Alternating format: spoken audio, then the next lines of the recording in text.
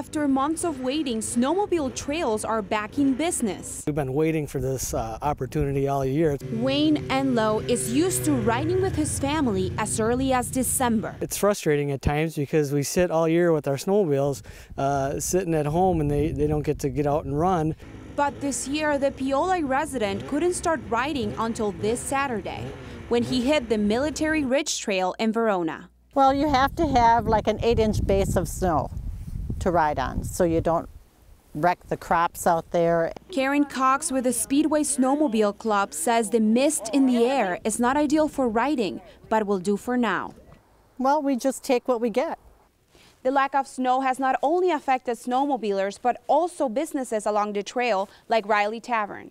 Enlow is one of the 50 stopping at this tavern to eat and rest. It's a great help for our business in the wintertime, absolutely. Tavern owner Jim Murphy says this Sunday crowd is smaller than the day before. Our, bu- our business was probably three or four times better than it would have on a normal Saturday without the snowmobiling. Murphy would welcome more business just like Enlow would welcome more winter. We just pray that we get a lot of snow. Reporting in Verona, Estephany Escobar, WISC News 3.